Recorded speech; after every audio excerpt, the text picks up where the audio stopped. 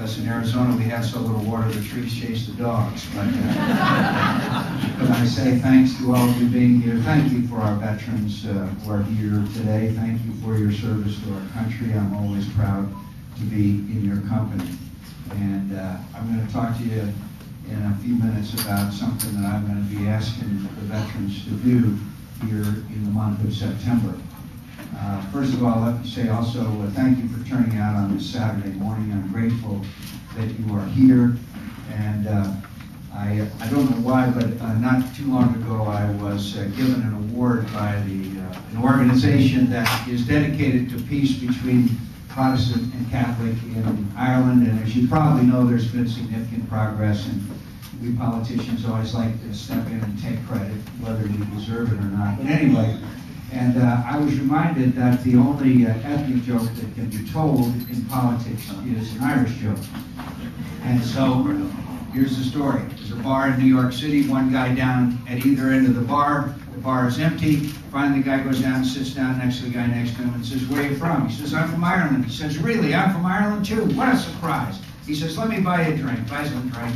He says, Where are you from in Ireland? He says, I'm from Dublin. I'm from Dublin too. Wow, what a you a drink. Buying each other drinks. He says, Where did you go to high school? He said, I went to St. Mary's. He says, No.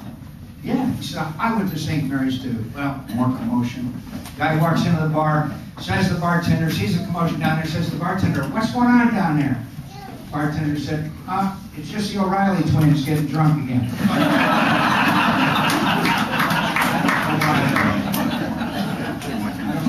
Irish jokes are allowed, but that's one uh, that, that is allowed. Um, I, I, I want to just take a few minutes to talk about two or three issues with you, and then I'd like to do what town hall meetings are supposed to be about, and that's respond to your questions or comments. Uh, I know there's a lot on your mind. This is a dangerous world. Uh, there's many issues that are happening, uh, not only around the world, but in our country, ranging from education to health care to balancing the budget to uh, a number of other issues. And internationally, we all know what our, many of our challenges are, and I'd be glad to discuss many of those with you. First of all, I'd just like to say to you, I'm running for president primarily for one reason. I am the most prepared to address the challenge of the 21st century, the transcendent evil of radical Islamic extremism, which is threatening everything we stand for and believe in in this world. As Buddy said, I need no on-the-job training. I am fully prepared to serve. I am fully prepared to take on this battle. And my friends, it is going to be long and hard and difficult, but we will never surrender. They will. We will never surrender. And the fact is,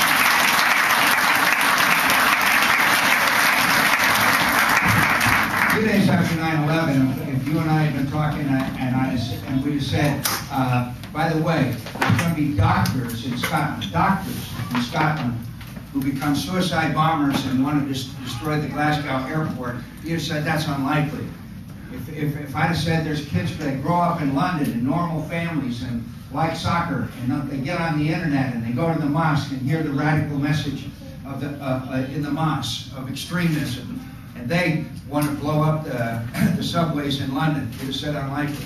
What I'm saying is, this challenge is, is global, it's, it, it, is evil, and it, we are not winning in the area of cyberspace. They're making great use of the internet. They are making great use of, uh, of, of Al Jazeera. They are making great use of the ability to affect the opinion of young Muslims to make them into extremists, to make them a force of, of evil that we have combat throughout, throughout the world. I'm qualified to serve. Let me just mention one other issue that just happened. As you know, all of us grieve the families in Minnesota uh, of those people who were victims of the terrible tragedy of, of the bridge that collapse. Uh, uh, our hearts and our prayers and our thoughts go out to the families of those who are still missing as well as those who were killed. My friends, it was a terrible tragedy.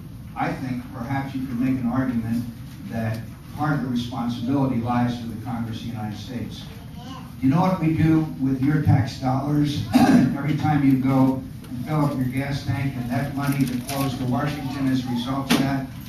We spend approximately 20 billion, billion dollars of that money on pork barrel earmark projects. On pork barrel earmark projects. Maybe if we'd have done it right, maybe some of that money would have gone to inspect those, those bridges and other bridges around the country. Maybe, maybe the two hundred thousand people that cross that bridge every day would have been safer than spending 233 million of your tax dollars on a bridge in Alaska to an island with 50 people on it. What do you think we could have done with that? What do you think we could have done with that 233 million dollars that we spent to go to the, to the bridge to nowhere? Bridge to nowhere. By the way, that same member of Congress on the floor of the House recently, it's a congressman from Alaska, said it was his money. He kept saying, it's my money, my money. Have we gone so badly uh, uh, uh, far from the facts of life that we think that it's, that it's our money?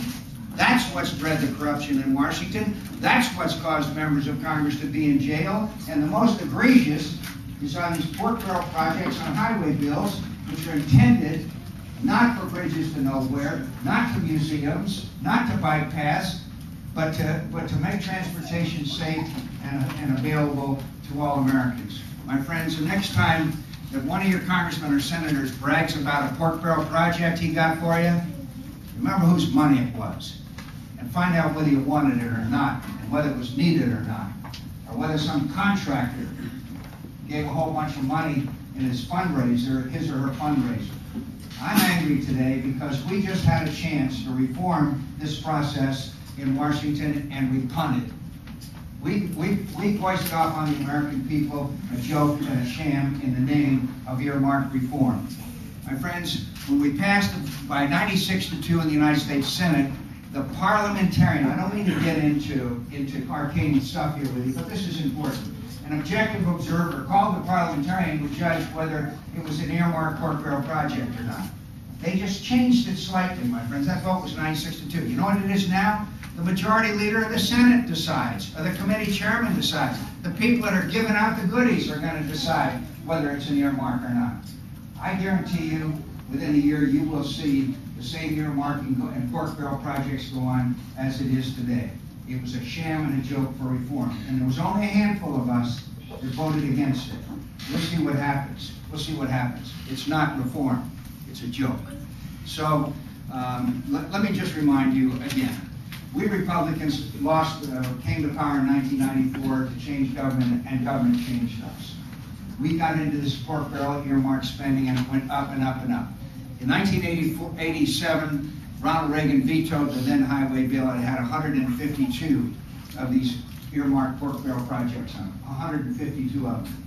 And at the time, Ronald Reagan said, I haven't seen this much pork since I gave out blue ribbons at the Iowa State Fair. That's a direct quote from- from Ronald Reagan. President of the United States, a couple of years ago, signed into law, signed into law, highway bill was 6,140. 6,140. Think some of the project money could have gone to bridge inspections? Maybe so, maybe so. So, I want to guarantee you, the first bill that comes across my desk as President of the United States that has a pork barrel project on it, I'm going to veto it, and I'm going to make the authors of that project famous. You'll know their names. We will stop this wasteful spending of your tax dollars in Washington DC when I'm president.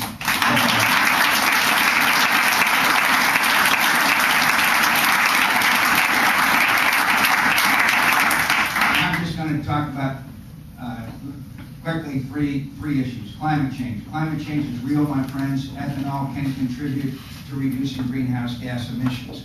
I still do not support subsidies, but I do believe that uh, ethanol will provide a very important part of us reducing greenhouse gas emissions and energy independence, which I would be glad to talk about. But that climate is changing and the world is changing, and we cannot give a damaged planet to our next generation of Americans, and it's a serious issue, and we've got to address it seriously. That, that, the other issue that I want to uh, address with you very quickly is Iraq, obviously. Uh, now, First, I've got to bring up the most unpleasant subject, immigration reform. As you know, immigration failed. As you know, there were those of us who said that we will secure the borders, but we also have to have a comprehensive approach to immigration reform. And we did not convince, we did not convince the American